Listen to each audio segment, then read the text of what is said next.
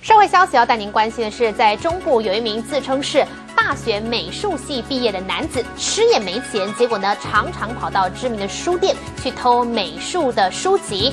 三年下来，他偷了两百零三本书，通通呢都放在这个书店楼中楼的天花板夹层。那么我们看到，远景前天逮捕他，也回到他的住处来搜索这个地方堆积如山的书籍。那么远景说，简直像是个图书馆。高书大盗带着远景回到住处搜索，满屋子的书籍堆积如山，叫远景看傻了眼。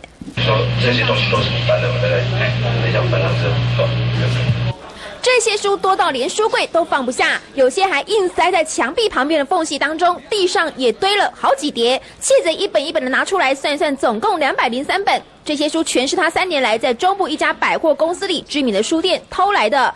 远景清点搬运，动用了四五名警力，来来回回搬了十几趟。我们搬上洗手车哦。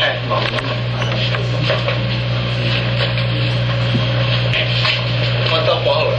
OK。窃贼三年来偷了两百零三本书，价值大约十五万。书店位于百货公司内，窃贼先把书放在天花板的夹层，再绕到十二楼，轻而易举就能把书带回家。书店漂亮的楼中楼设计，竟然成了窃贼行窃的管道。他是把它塞到这个类似架子上面，好，然后人就什么东西都没拿，就出那个成品的大门。哦，因为没拿东西嘛，也警报器什么也不会叫。